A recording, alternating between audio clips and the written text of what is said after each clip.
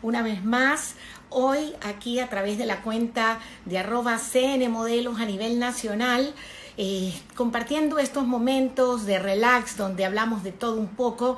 En unos, en unos instantes se unirá el productor de moda, el señor Edison Guerrero, quien también ha sido pues por 10 años el productor de las pasarelas del evento que realiza Ecuador Fashion Week, el evento que realiza CN Modelos, y él que también ha sido forjador de reinas de belleza y ha tenido eh, sus propios programas de televisión, nos acompañará para hablar sobre este mundo de la producción de pasarelas de moda. Quiero agradecer a todos los amigos que nos están visualizando en estos momentos.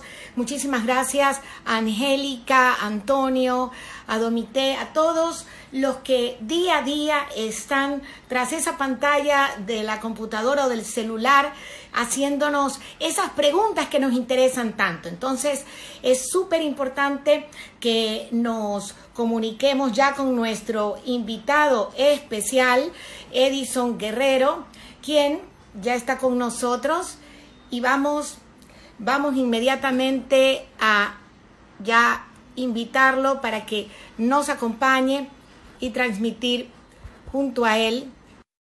Ya, ya, ya, ya, hablar de todos esos temas que nos apasionan a los fashionistas.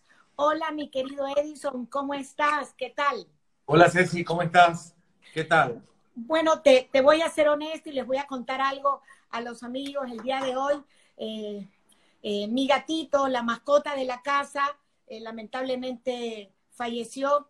No sabemos exactamente el motivo. parece que probablemente haya comido algún tipo de, de alimento dañado. vivimos en una urbanización cerrada y bueno, Kurt, como lo llamaban mis hijos, Juan Martín y Ariel, pues ya no está con nosotros. Una gran pena. Sabes que he llorado por horas parece mentira lo que una mascota significa en un hogar. Tú lo lograste conocer, grandote, parecía un pequeño tigrillo. Sí, me dio mucha pena. Sí, Qué pena me dio. Él era bien, bien amoroso. En todo caso, no quiero ni comparar eh, lo que es que se vaya una, una, mascota que ha estado con uno 10 años, 8 años, 5 años, a lo que ha de ser ese, ese dolor imperceptible, eh, imperecedero, eh, imperceptible para los demás y tan real para las personas que en este momento, Edison, han perdido familiares.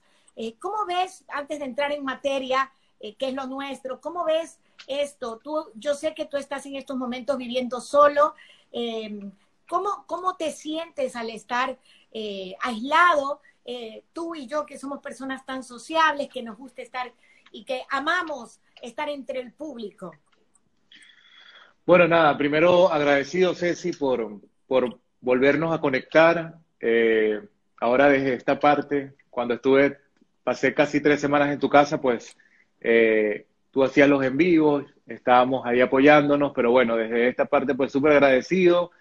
Eh, bueno, imagínate, yo ya vamos a la, al día 50, creo yo, con respecto a, a la cuarentena. Yo pasé 30 días aquí en mi casa, como te lo comenté a ti, se lo comento a muchas personas. Yo quería primero eh, aislar, aislarme y obviamente descartar que tenía cualquier síntoma, porque como yo siempre digo, hay que tomarlo con bastante responsabilidad. Eh, hay que saber si realmente tienes cualquiera de los síntomas que debes aislarte y yo pues esperé por completo eh, que no me pasara absolutamente nada para poderme movilizar de aquí. Entonces, eh, ya después, pues bueno, estuve algunas semanas en tu casa y bueno, con mucha pena, ¿no? Yo pienso que aparte de la ansiedad que nos genera el estar encerrados, imagínate, también siento que es un tema bastante preocupante porque estamos viendo una realidad, una realidad que no se puede esconder, porque más allá de las cifras oficiales que hay, eh, hay redes sociales, hay mucha información adicional que yo creo que es la que realmente está valiendo ahorita, porque si te pones a analizar, yo, yo siento que no son tantos casos como son los oficiales, sino creo que son muchos más. Y bueno, tenemos que seguir con las medidas que el gobierno ha, designado. eh, esto se va a extender un mucho tiempo. Yo creo que ha sido el momento de reinventarnos, el momento de, de poder autoanalizarnos también y ver de qué estamos hechos, porque si bien es cierto, cuando estábamos en la vida eh, cotidiana, nuestra vida era un poco mucho, era un poco más fácil o mucho más fácil, y ahora es que aprendamos, aprendemos a valorar una serie de situaciones que tal vez en los momentos de, vivir una vida cotidiana no lo hacíamos. Entonces, yo estoy un poco preocupado, pero a la vez también tranquilo, porque bueno, gracias a Dios tengo amistades como tú, amistades como personas muy cercanas a mí que me han dado una mano. Como tú dices, yo estoy solo aquí en el Ecuador. Y bueno, también preocupado un poco por mi familia, que a pesar de todo, pues la, la, enfermedad en Estados Unidos, perdón, en, en Venezuela, no está como en Ecuador, como Estados Unidos que, obviamente los casos son mucho más extensos y en grandes cantidades, ¿no?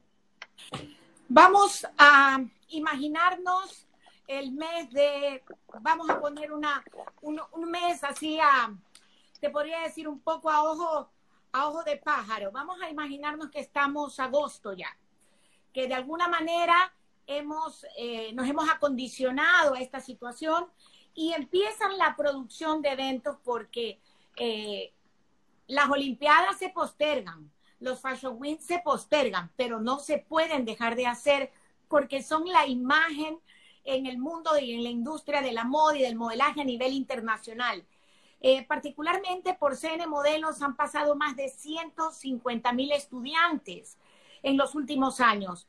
Eh, y esas son cifras bastante modestas. Eh, en 35 años a nivel nacional yo te hablaría de un cuarto de millón de personas que han seguido algunos de nuestros cursos de superación personal, de imagen, de postura, eh, cosas que te cambian la vida y que no son superficiales como alguien podría decirlo por ahí.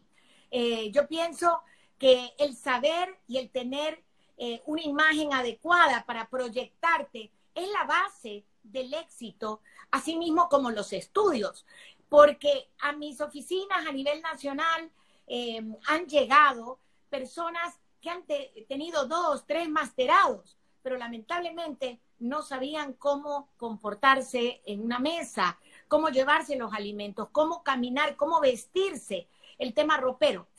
¿Qué es para un hombre forjador de reinas que tiene que buscar lo máximo de la plenitud externa física en los modales, en la actitud y ¿Qué es para, para ti uno de los tops a nivel latinoamericano en preparación de reinas de belleza? Las cosas que hacen que la chica se lleve la corona. Entremos un poquito en el mundo de Edison Guerrero y sus reinados y después vamos a seguir con la producción de eventos. Bueno, si tú bien lo dices, eh, creo que lo, has respondido. Yo pienso que los valores, los principios, eh, la parte educativa viene desde casa.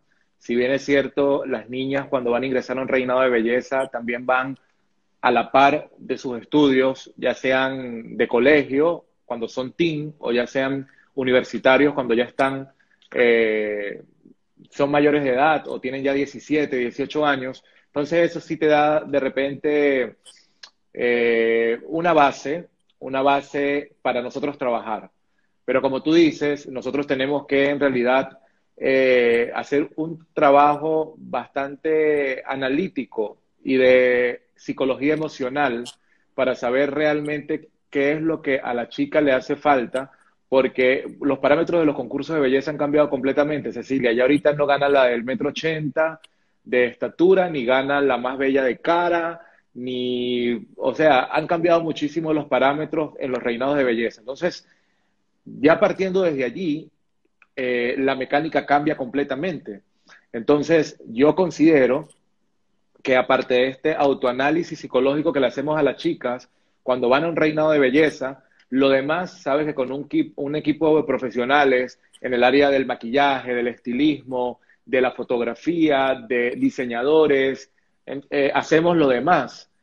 Pero esta parte, que es la parte como más fuerte de poder que las chicas aprendan a manejar sus emociones, eh, es la parte complicada. Entonces, si se hace un autoanálisis, las chicas primero tienen esa parte, tienen que trabajar esa parte interior, esa parte de empoderamiento, esa parte de seguridad, esa parte de poder sentir por qué quieren ser reina de belleza. Yo conversaba con una chica que estoy asesorando el día de hoy y le preguntaba, bueno, ¿y por qué quieres participar en este reinado? O sea, ambiciosamente, porque siempre nos responden, bueno, es que me gustaría hacer obra social, me gustaría ser la representante de mi país o de mi provincia o de mi cantón, pero no tienen esa ambición que realmente actualmente una reina de belleza necesita. Es decir, porque en la parte de proyección y en la parte de seguridad tienes que también sentir esa, esa, esas ganas de que ambiciosamente lo quieres lograr porque quieres lograr un objetivo, porque quieres ser una, una artista reconocida, porque quieres estar en el mundo de la televisión, por mil cosas. Porque de repente quieres ser alcalde o presidente de tu país. Porque Completamente. hemos tenido esos casos. No nos vayamos más allá. Un Arnold Schwarzenegger, que fue gobernador de, de California, definitivamente la plataforma de un Ronald Reagan que llegó a ser presidente de los Estados Unidos y fue actor. Eh, definitivamente esa popularidad ayuda, ¿verdad? Y te abre puertas. Yo siempre he dicho, a ver, ¿qué quieres tener tú como asistente? ¿A una chica muy linda cualquiera o a la que fue reina de Guayaquil o ex Miss Ecuador? Todo el mundo contesta, ah, yo quiero la Miss Ecuador, quiero la Miss World, quiero la reina de Guayaquil. Entonces, me, por lo que comprendí, se les hace un test psicológico y tienen apoyo eh, psicológico las candidatas. Imagínate tanto rechazo, tanta gente que le dice que es bella y tanta gente que le dice, ¿por qué ganaste si era la más fea? Claro, no, y te digo una cosa, es impresionante y con todo el respeto lo puedo decir, la mayoría de las candidatas a reinados o reinas de belleza son las mujeres más bellas, pero también las más inseguras. O sea, en realidad a veces buscan tanta perfección que en realidad ellas mismas dudan a veces de sus capacidades físicas, de sus capacidades eh, profesionales, de sus atributos, o sea, intelectuales y, de belleza, que, yo digo, Dios mío, no te ves lo linda, lo espectacular que eres, no, lo que pasa es que no me gusta porque la ceja la tengo más alta que, que la otra o porque tengo un poquito de repente, eh, no sé, tengo un poquito de quisiera tener menos, menos la cintura más chiquita, siento que mi, que tengo juanete, o sea, cosas, o, o, mis dedos no me gustan, son muy anchos los nudillos, cosas que para cualquier ser humano serían una tontería, pues para ella significa mucho. Estábamos viendo en algunos días de tu estancia aquí en mi casa los concursos Mi Venezuela y el último concurso que hace Osmel Sousa. Eh, si me recuerdas el nombre, el concurso Bayosmel, así se llama, el concurso. Y veíamos que la una era más perfecta, que la otra tenía la nariz más eh, divina. Eh, llegar a este grado de, perfección física necesita también una perfección mental, ¿verdad? Es lo que tú estabas diciendo.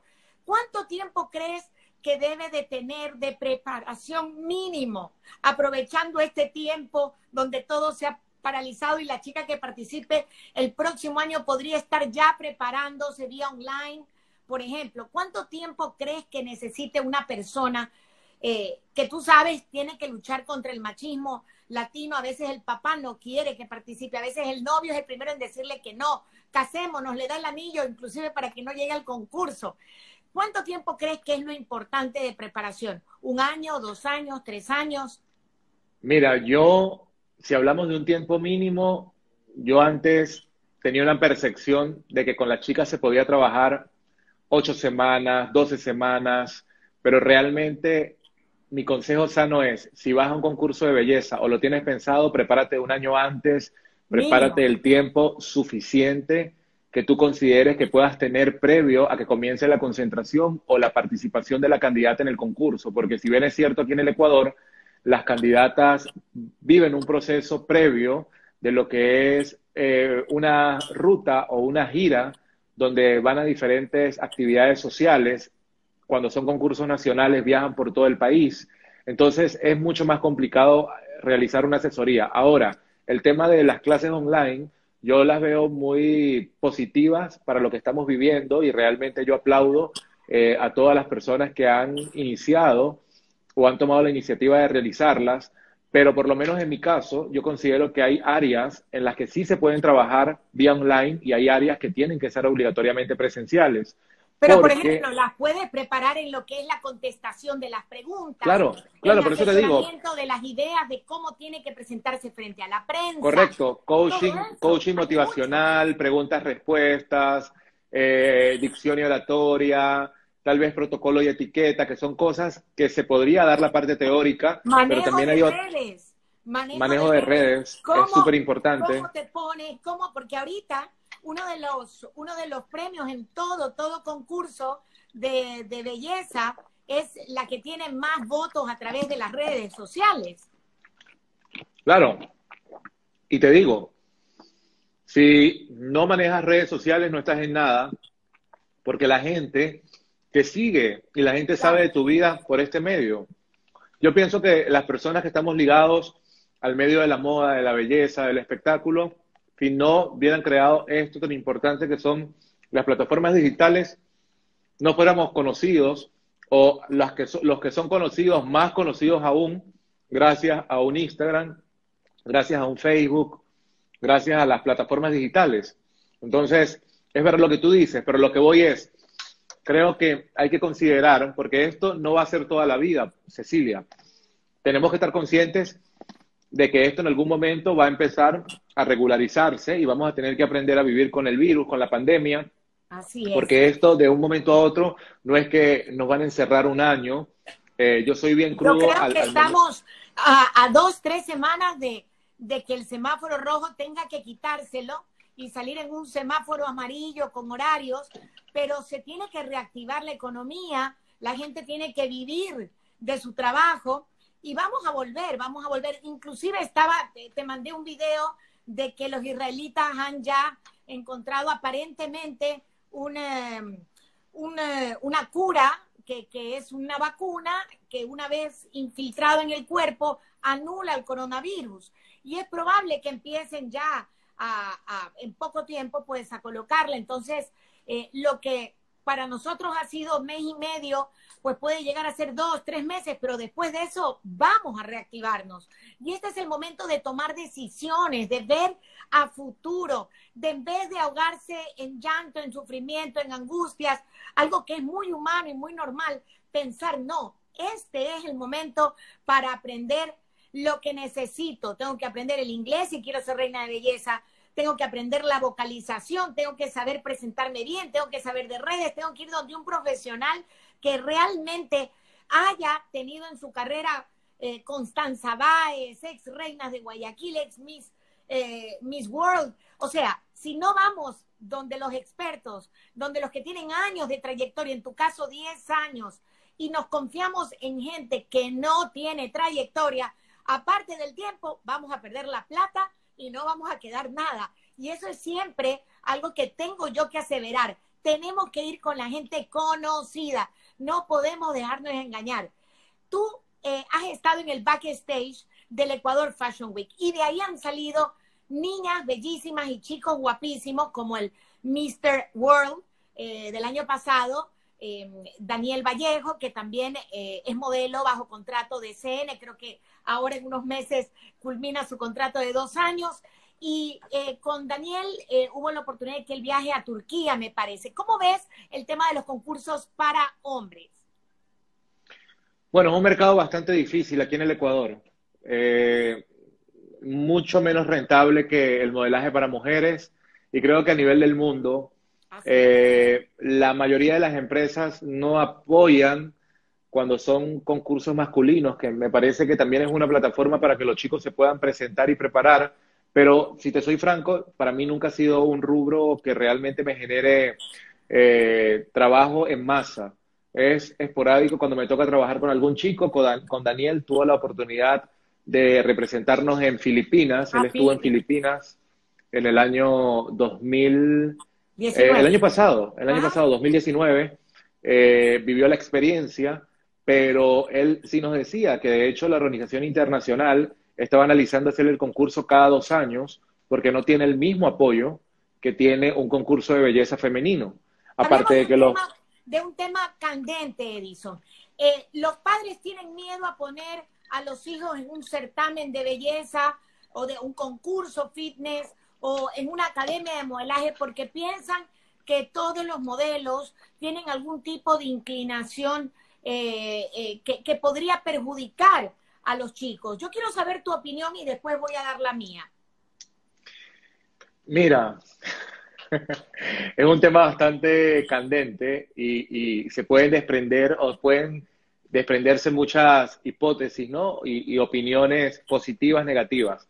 Te hablo bajo mi experiencia. Cuando estás con un equipo profesional, una empresa profesional, con gente seria, yo creo que realmente eh, eso se ve, eso se nota y también se nota bajo los resultados. Esto es como los partidos de fútbol. Yo considero que las empresas, asesores, managers, van a, ven los resultados como cuando los grandes entrenadores ven a los chicos jugar y si tú metes gol y ganas los partidos, hay resultados. Puede ser muy bueno, en este caso, la empresa, el asesor, el manager, pero si no te consigue un contrato, si no te consigue eh, cómo proyectarte y que la gente realmente te conozca, ahí es que viene el problema el tema de tu género o sexualidad es algo muy personal. Yo considero que tú no te haces porque te metas en una academia de modelo, eso es completamente falso. O de repente, eh, otro tema que es súper delicado, que se ha manejado también con el tema de las modelos mujeres, es que realmente es una, un abanico para que supuestamente hayan auspiciantes o situaciones irregulares con las chicas. Eh, eh, eso también es completamente falso. Yo creo que bajo ningún parámetro la gente puede confirmar y opinar que todas las empresas son iguales, porque sí han habido sus escándalos, sí se han visto de todo tipo, y tú lo sabes muy bien, Cecilia, cuando hablamos de esto, porque hemos visto noticias de otros países o de gente que ha llegado a, una, a una academia como la tuya a comentar, mira, yo estuve en otra academia y tuve problemas con el dueño de la academia o la dueña de la academia. Me propuso esto, quiso que yo vaya con alguien. Eh, los, los famosos escorts o damas de compañía o chicos de compañía. Pero precisamente ahí es donde yo quiero eh, tocar el punto con mi opinión. Cuando tú vas a una Miss World, cuando tú vas a, un Reina de Guayaquil y está una Tai Hispanus atrás, yo te garantizo que no va a pasar nada Cecilia Niemes es una institución de 35 años. Yo ya lo hubiera terminado el negocio hace 15, hace 20 años, me hubiera ido del país eh, este, completamente millonaria, digo yo, si, si hubiera algo raro, algo, algo fuera de lugar. Pero por eso es que insisto a los padres de familia y a los chicos y chicas del país que sepan con quién se meten. Vean, entren a Google, entren a YouTube, vean los 200 videos que tiene el señor Edison Guerrero, vean los no sé cuántos miles que el otro día estábamos chequeando eh, de, de, videos y de entrevistas que genera un Latinoamérica Fashion Weekend que tú has producido, un Expo Model, un Ecuador Fashion Week que este año cumple 17 años y Dios mediante lo haremos en el mes de noviembre o de diciembre. Y, ahí tú te das cuenta de, lo, de quién es y quién no es. Hablando de las pasarelas, ¿es una oportunidad de crecer para un modelo o una misa, estar en una pasarela eh, luciendo las prendas de los diseñadores? Tu opinión, por favor. Sí, definitivamente. Es una plataforma no solamente para el modelo, para el diseñador, para el empresario, para el animador, para el coordinador, para los asistentes, para cualquier persona que esté dentro de este medio y quiera crecer, porque esto se llama currículum. Y aparte de eso, también la experiencia y la exposición que tienes, yo por lo menos lo digo, tú sabes muy bien que el tema, y que ya vamos a tocar este tema de la animación, eh, inició después que fui primero ayudante, asistente, luego coordinador, y después el tema de la animación. Salió bajo este, esta plataforma, porque en realidad en este caso tú como, como cazatalentos o como eh, una profesional en el tema, viste que esta persona tenía el talento para hacer esto, que es lo que pasa contigo y pasa conmigo. Eh, vemos chicos y chicas que tienen un ángel para ser reina de belleza. Tenemos... Yo te he dicho o no te he dicho, esa queda, esa no queda pero claro. tú me dices, no, pero está seguro que, mm, mm, no, no, y ahora tú ya tienes eso. Y es lo que tiene un Osmel Sousa, que dice, esta, ya. Y con que lo diga, es que así es.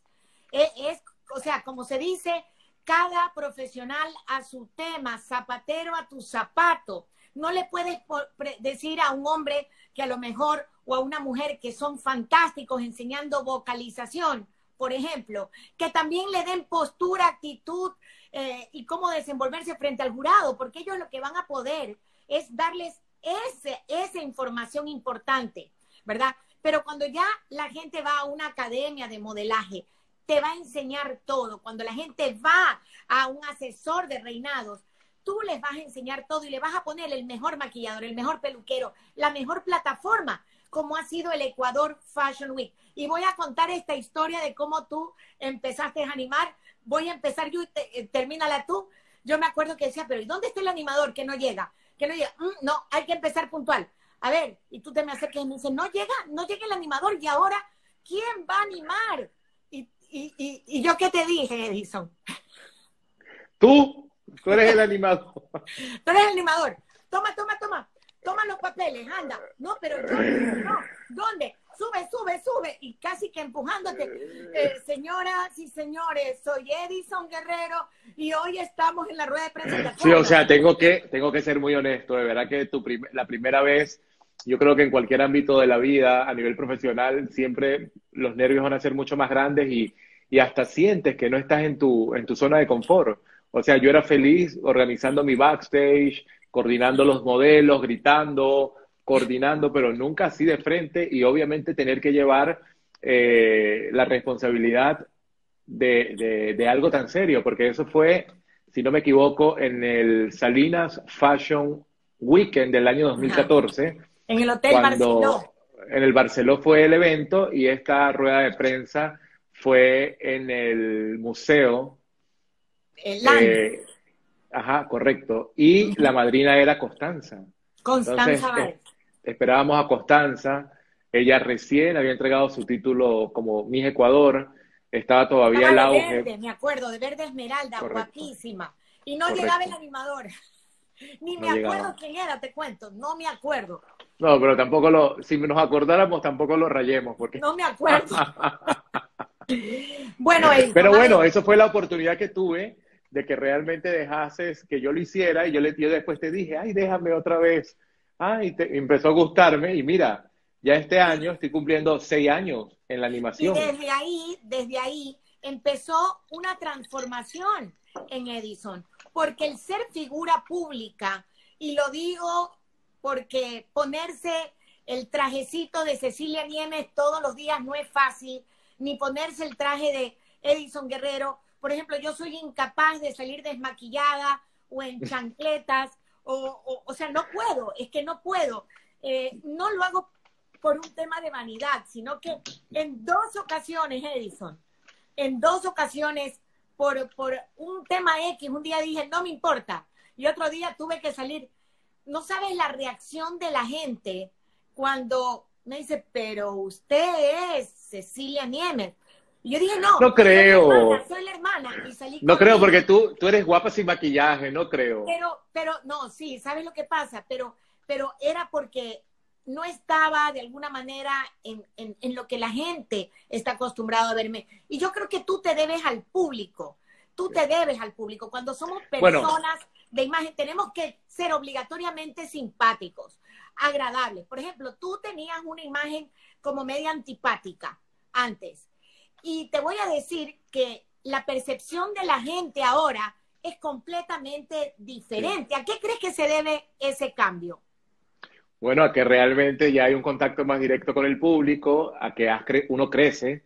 Tal vez, escúchame, lo que pasa es que yo no sabía diferenciar entre mi vida laboral, el tener que ser correcto, y yo soy bien exigente con los modelos, y el trato con mi entorno, con el público como tal, porque no tenía ese roce de tratar con las personas como tú, siendo una figura pública, el tener que saludar y todo. O sea, yo hacía mi trabajo y yo realmente aprovechaba eh, mis momentos de, descanso para estar en mi círculo. Pero no era que yo salía, hola, buenas tardes, ¿cómo están? Bienvenidos, ¿qué tal? O sea, nunca fue así.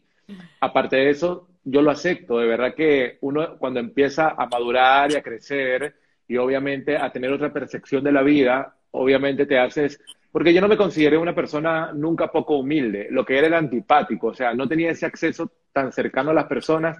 Tal vez ahorita pueda ser que eh, sea igual de selectivo o siga siendo un poco parco, pero también la educación, la educación nunca se va a perder.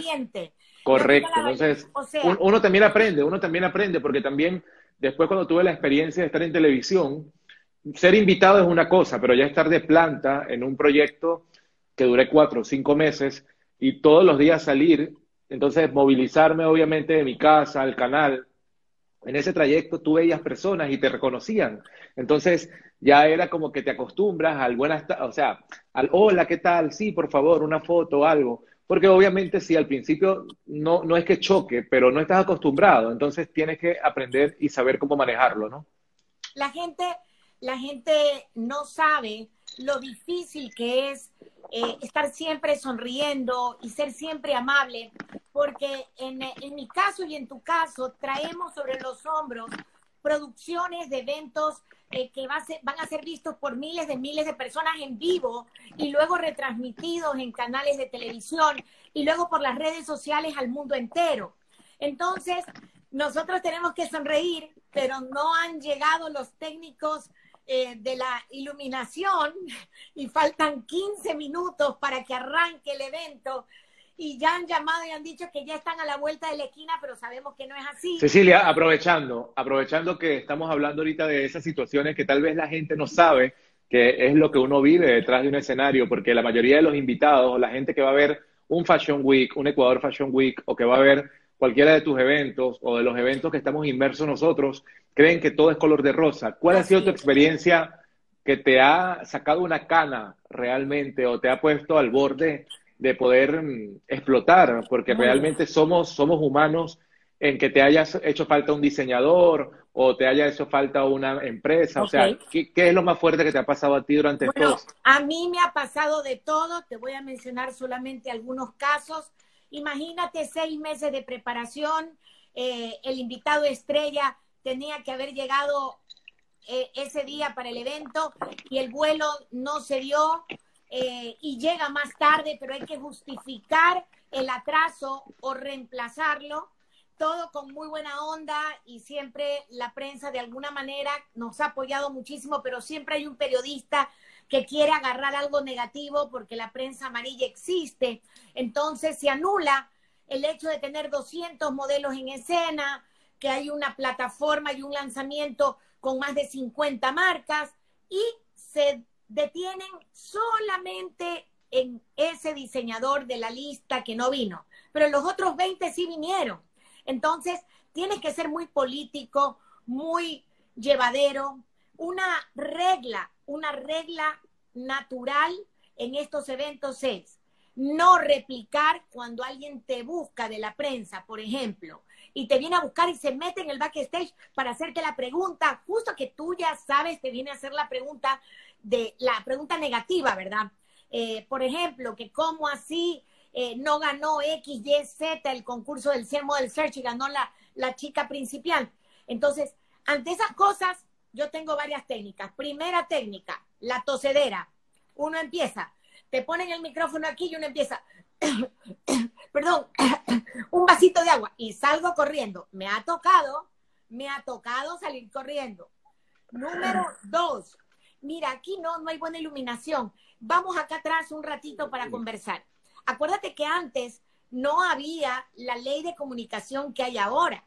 A mí me tocó hasta el año pasado, hasta hace dos años, contestar las preguntas más fuera de lugar de este mundo, desde si estaba embarazada hasta si había vuelto con mi ex esposo, hasta de quién era mi novio actual, cosas personales que no tienen nada que ver con el trabajo. Entonces te toca ser súper político, o de alguna manera evadir ese tipo de, preguntas que no van al caso de un evento magno. Entonces, la parándula y el espectáculo es un arma de doble filo. Em, gracias a Dios, siempre el de arriba nos ha dado una mano y, siempre ha habido, Dios nos ha mandado el reemplazo. El cantante no llega, parece mentira, nos ponemos a pensar tú y yo, ¿y ahora quién va? ¿Quién va? Plin, llega una persona, un manager y dice, oye, me gustaría que le des la oportunidad a este cantante que está aquí. Claro que sí. ¿Y a qué hora le toca? En cinco minutos tiene que subir al, al escenario. mi maquillaje. Y viene la, la maquilladora, le arregla y al escenario. Entonces yo creo que es todo un tema también de energía positiva. Bueno, a mí lo más tal vez complicado que me ha pasado es que en una situación en de repente en la que sabes que tienes que llegar a la hora, que tienes que ser puntual y coordinaste, mira, a veces hasta las cosas más básicas pueden convertirse en un problema. No me creo que una sola vez me pasó un evento tuyo y en una animación una vez, el tema transporte. Si el evento arranca a 6 de la tarde, lo, lo, aprendí por experiencia propia, que aquí en Guayaquil hay que estar a las 4 de la tarde en el lugar, o sea, salir antes de la hora pico. Porque si así vivamos en distancias cercanas, yo no vivo lejos, yo vivo en la, en la urbe de la ciudad, pero llegar a un Sheraton y salir de aquí a las 5 de la tarde era llegar seis y media y el evento estaba pautado para X hora. Entonces, ya de por sí el, el, el, atraso te, te, hacía generar una histeria a ti y obviamente estresarme también a mí. La hora ecuatoriana es terrorífica. Eh, yo siempre, bueno, siempre ponemos 6 de la tarde y arrancamos 6.30 porque damos una pauta de media hora que pasamos videos en las pantallas LED gigantes, eh, se, pone, se pone un cantante, se pone una violinista, un saxofonista, se pone algo como para que la gente se vaya ubicando. Pero si hablamos de producciones y de cosas que le molestan a Edison Guerrero, yo voy a decir aquí al público, voy a confesar, lo que más le molesta a Edison es que se pasen por la pasarela. Eso es algo que te mata, Edison. Y empieza, por favor, a los señores que están caminando sobre la pasarela, no se dan cuenta que están ensuciando. Y yo intento quitarle no, el micrófono. Ah, ah. Escúchame, lo que pasa es lo siguiente. Si bien es cierto, todavía no tenemos esa cultura tan marcada de Fashion Week a nivel como en otros países de los que hemos ido, pero por lo menos en los eventos que repetimos durante cuatro años seguidos, invitados al Dominicana Moda, ellos previo eran tan cerrados por decirte, es, es prohibido pasar sobre la pasarela, sentaban a todo el mundo, si no, no comenzaban el desfile. Entonces, ¿tú crees que es justo de que la mayoría de los diseñadores nacionales e internacionales que están aprovechando esta plataforma tan importante, el evento de moda más importante del país, donde hay tanta gente de medios, y la mayoría de ellos están grabando en circuito cerrado sus videos.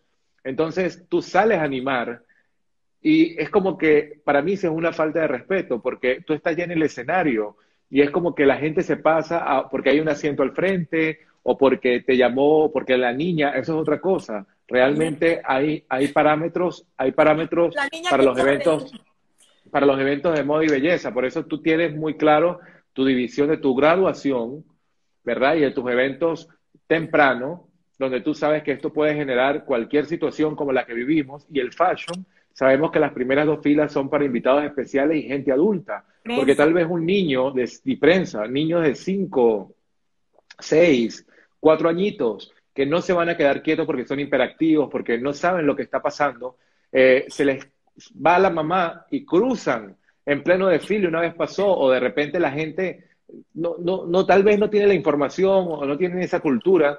¿Y qué pasa? Los diseñadores internacionales o los invitados internacionales te reclaman. Entonces te dicen, disculpe, este, ¿qué pasa? ¿Por qué dejan que la gente se levante? Y esas son las respuestas que te ha tocado improvisar y tú decir... Y el trauma, y el trauma más grande tuyo es la señora de la empanada. Voy a aclarar. Del sándwich.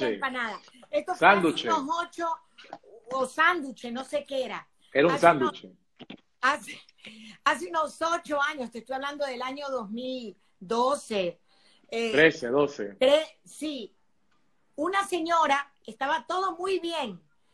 Y la pantalla, pues para hacer las grabaciones, creo que lo transmitía TC Televisión o ETV Telegrama. No TC, TC, era TC. tuvimos que cortar. Eran los 15, bueno, no me acuerdo, los 10 años del Ecuador Fashion Week.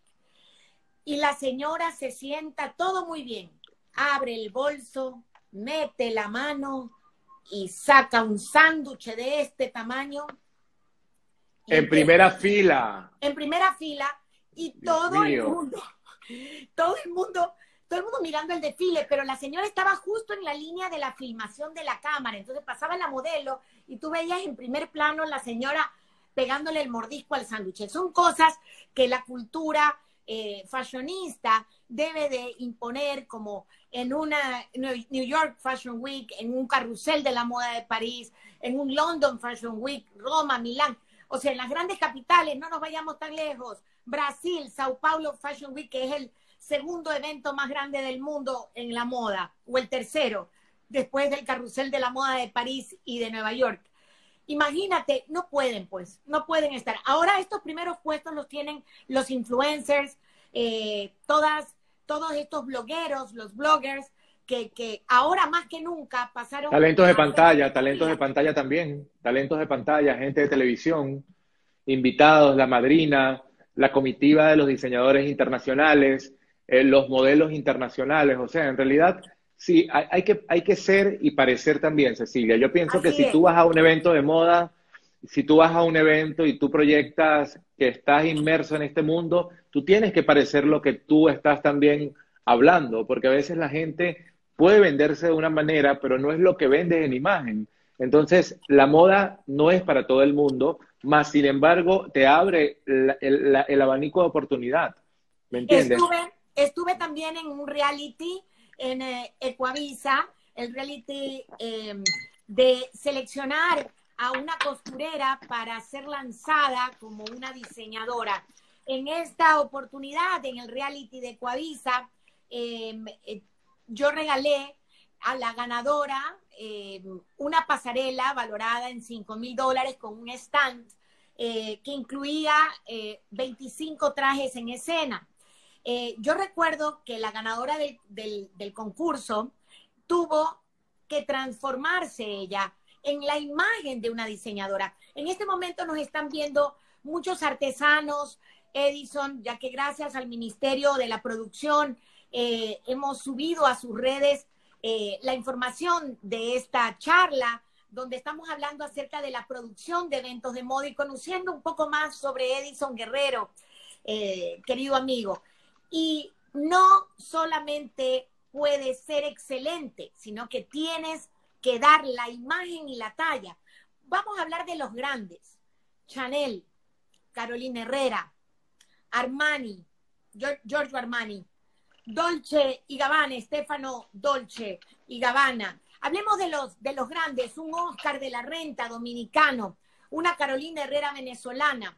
Eh, toda esta gente, tú los ves y son impecables. El difunto Karl Lagerfeld que manejaba Chanel eh, hasta el día que se murió, que fue hace pocos meses atrás, el hombre estuvo impecable, ¿ya? Inocuo, desde arriba hasta abajo. No puede ser que el asesor de moda sea un, eh, un diseñador o diseñadora, tenga una facha que no va acorde con ese asesoramiento de ropero, con esa imagen. Eh, para eso, ahí tuvimos un accidente. Yo voy a seguir hablando. Definitivamente, mis queridos amigos, tenemos, tenemos que dar la talla, tenemos que dar la talla. Y yo como directora de la Semana de la Moda Ecuatoriana y vicepresidenta de una asociación de 20 Semanas de la Moda a nivel latinoamericano, no, no, no puedo dejarme vencer. Eh, muchas cosas pueden pasar antes de un desfile, pero el diseñador y tú como en la parte de la producción, sabes, a veces mientras está ocurriendo el desfile, se salta un eh, cierre, se salta un botón, se rompe un vestido. El show debe continuar, ¿verdad, Edison? Así es. Sí, el show debe continuar, perfecto. ¿Qué le dirías tú a ese diseñador que se le dañó un vestido, porque a veces los diseñadores dicen, tiene que salir, tiene que salir. Y tú agarras a la modelo y dices, no, no sale. Hay que tener voz de mando, ¿verdad? Cuéntanos esas experiencias. Ya va, que tuve un accidente aquí un Pero se te escucha muy bien y se te ve guapísimo como siempre. Voy a leer una pregunta. ¿Qué tips le puedes dar a los nuevos bloggers que están comenzando en el ámbito de la moda. Querida Fresise, te cuento, el día sábado vamos a tener a una bloguera ecuatoriana, Denise Bajaña, radicada en la ciudad de Los Ángeles, que a las 8 de la noche estará aquí y va a hablar acerca de los bloggers del siglo XXI. Pero nosotros también te vamos a dar un consejo. Mi consejo es que debes de relacionarte precisamente con los duros de las pasarelas a nivel internacional. Tienes que siempre intentar que se te haga una invitación y para eso tienes que mantener pues tus redes impecables.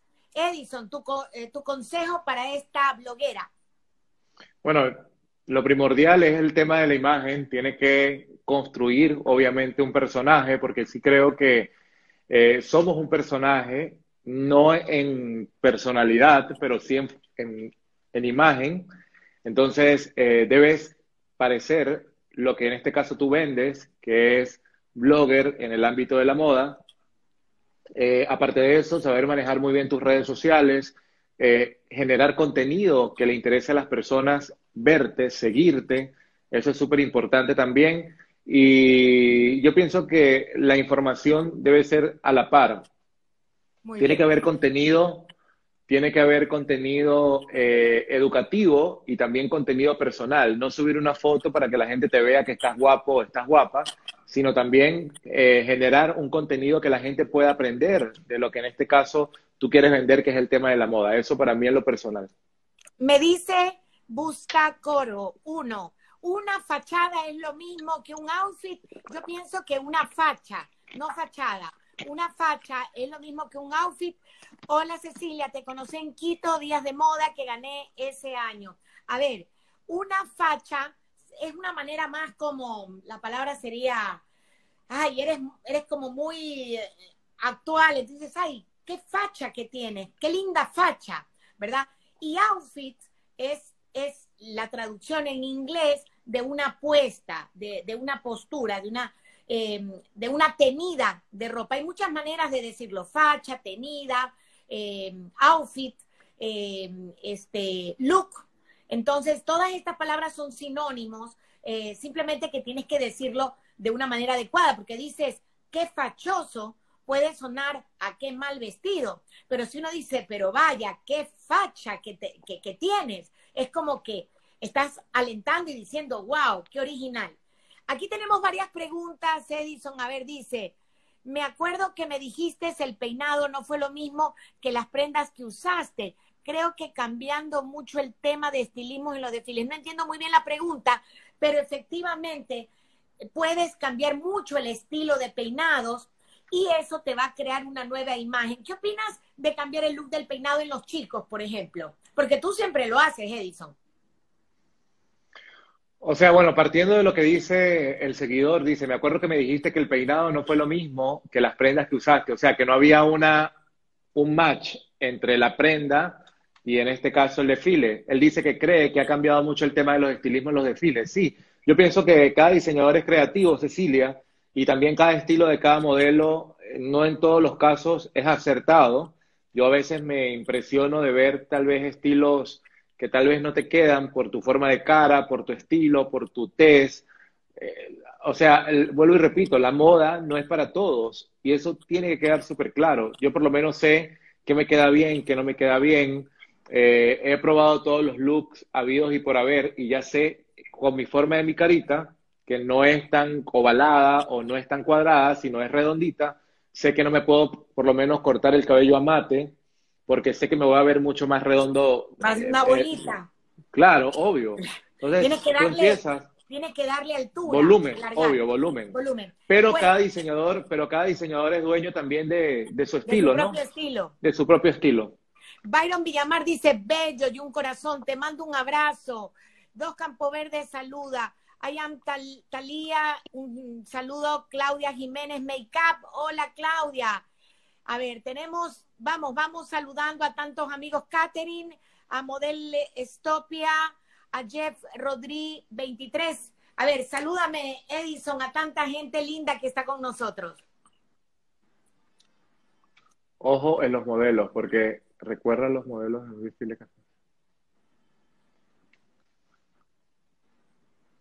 A ver, leamos. Vamos.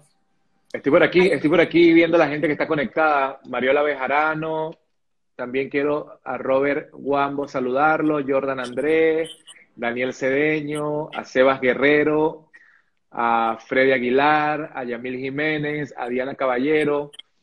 Dice, Busta Coro 1 dice, ojo en los modelos, porque recuerda, los modelos en un desfile son hasta cuatro diseñadoras que desfilan ellos, pero en Ecuador Moda me di cuenta que el estilismo de los modelos cambió mucho eso y felicito. O sea, en realidad yo creo que la perspectiva de él es, asumo que con respecto a los estilos, y que me imagino que él es estilista o diseñador, Así es. eh, sabe que se genera, porque escúchame, hablando de este tema, es importante también aclarar que aquí en el Ecuador o en Latinoamérica se maneja el término estilista a la persona que maneja el estilismo de cabello, Ajá. pero en Estados Unidos y en Europa y en otros países el estilisma, el estilista es el que maneja el outfit o el estilo, Completo. en este caso de una celebridad, así es. Así es. El tema de hoy es producción, coordinación y animación de moda y belleza. Hemos De eventos hablado de un moda y poco de la- belleza. hemos, hemos hablado un poco de la producción que lleva seis meses para sacar adelante un evento. Un evento que siempre a última hora hay que ajustar.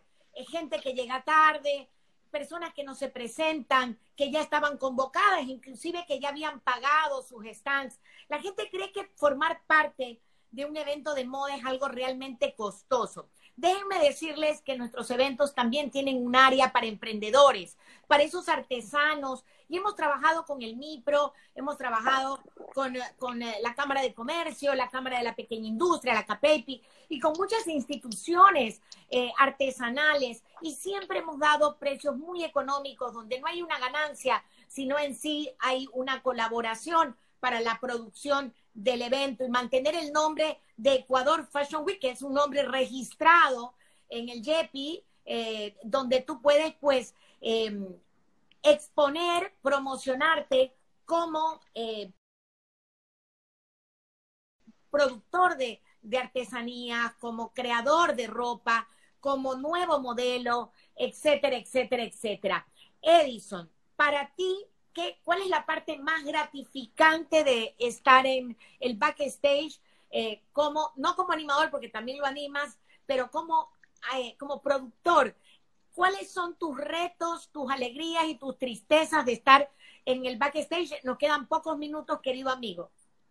Bueno, principalmente creo que bajo el parámetro de ser productor o coordinador de pasarela, yo creo que los contactos que puedes hacer, el poder conocer gente de diferentes países, con diferentes culturas, con diferentes formas de trabajo, eso te hace crecer como persona.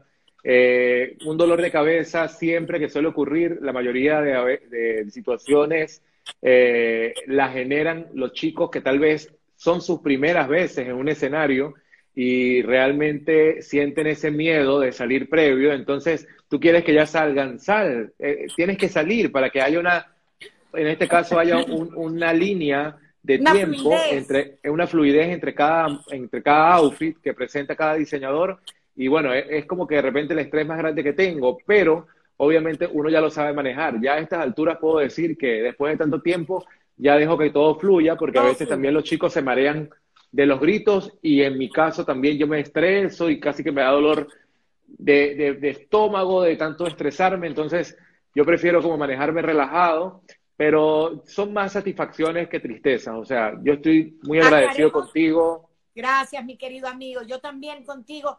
Tomemos en cuenta que no es un día, son tres, cuatro días donde arrancamos a las nueve de la mañana con los fittings, porque parte de la producción del evento es probarle la ropa a los modelos. Recordemos que los 15 diseñadores internacionales promedio que vienen año a año a un Ecuador Fashion Week llegan el mismo día o el día anterior.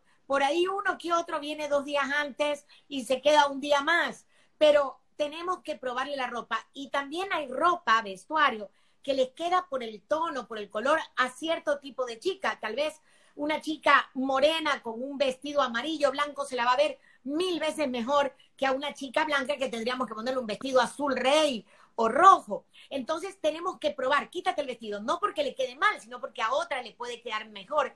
Y en eso la producción se tiene que encargar con el diseñador de ver eh, lo que resalte más al grupo de modelos.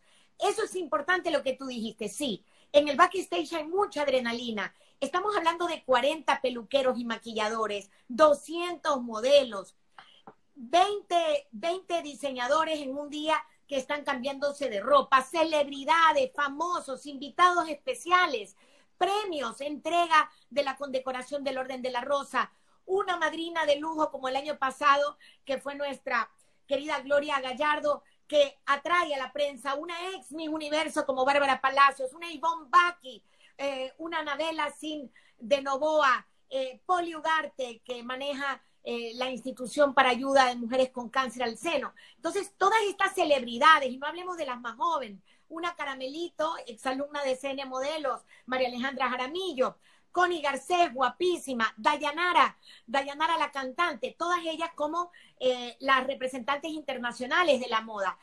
¿Qué sientes tú al tomarte fotos con todas estas chicas que muchas veces te dicen, Edison, tómate por favor una foto conmigo. Los papeles invertidos, porque yo lo he visto. Cuéntame. ¿Cómo? ¿Qué pasa cuando estas celebridades son las que te piden a ti la foto? Ay, bueno, yo creo que ya llega un momento en que todos nos conocemos. Gracias a Dios, la mayoría de las personas que son eh, los que van, en este caso, a ser homenajeados, ya sea como embajadora internacional de la moda o como madrina del evento, ya hemos tenido un contacto previo en las ruedas de prensa o tal vez en, el trabajo o en el diario compartir cuando estaba en televisión. Entonces, sí, sí hay un trato chévere. Yo creo que los primeros años eran eh, cuando realmente decía, wow, está X modelo o X reina, tú sabes que tengo bastante fijación con las reinas de belleza, entonces obviamente pues yo eh, pedía la foto, pero vuelvo y repito, o sea, si quiero para mi feed, y tú sabes que soy muy tecnológico, a mí me encantan las redes sociales, me encanta el Instagram, me encanta el Facebook, o sea, las plataformas digitales, entonces para mí el capturar un recuerdo en el momento con cualquier eh, persona del medio o famosa o homenajeada, madrina, invitado internacional, yo lo voy a hacer. Así que yo me siento súper feliz, honrado, eh, que me digan, oye, tómate una foto conmigo. Y de verdad que sí trato de, estar activo en las redes, o sea, siempre me gusta estar en contacto con las personas y que la gente vea, porque también te digo una cosa, uno en las redes sociales cuenta una historia, entonces la gente, la persona que sigue tu carrera, sigue tu trabajo, eh, sabe eh, lo que estás haciendo por medio de las plataformas digitales. Entonces, yo encantado y feliz de, vivir esa experiencia, ¿no? Mi querido amigo, eh, quiero agradecerte por estar acá. Eh, quiero saludar un poquito más antes de despedirnos y aprovechar esta plataforma para decirles a todos que mañana tendremos a Fausto Altamirano, ecuatoriano, residente hace 25 años en la ciudad de Miami, dueño de un taller espectacular y de su marca Bacho Couture. Él está haciendo una campaña increíble donde gran cantidad de artistas y gente famosa estará presente en un en vivo este sábado. Pero para hablar más de esto mañana a las 8 de la noche con Fausto Altamirano y Denise Bajaña, una bloguera estará con nosotros el día sábado. Una sorpresa para el domingo muy especial, pero la voy a decir mañana. Eh, quiero agradecer a la prensa que siempre ha estado ahí para apoyarnos. Somos lo que somos por ustedes y por esa confianza de los miles y miles de padres de familia y amigos de CN Modelos, clientes, eh, empresarios que siempre han estado ahí para apoyar el evento número uno de la moda aquí en Ecuador, el Ecuador Fashion Week. Edison, salúdame a la gente y despídete. Yo les mando mi corazón. Bueno, Cecilia, agradecido por, contigo por haberme invitado, a estar de este lado, te extraño, realmente tengo tres días en mi casa, ya me quiero devolver otra vez. Y bueno, agradecerle a todas las personas, pueden escribirme en mis redes sociales, si quieren saber algo con respecto a moda, a belleza, siempre voy a estar presto para poder tener ese contacto con ustedes. Seguir positivo, vamos a salir de esto, esto no va a ser para siempre, esto no es eterno Así que seguir trabajando por ser mejores personas, por crecer y por creer en este medio de la moda y la belleza. Nos vemos, si Dios permite, pronto y esperamos que en noviembre y diciembre volvamos con el Ecuador Fashion Week. Así que un beso grande y gracias por la invitación. Se queden historias esta conversación. Nos vemos mañana. Todo mi corazón para ustedes y para ti, Edison. Regresa el martes, te paso recogiendo. Beso, chao.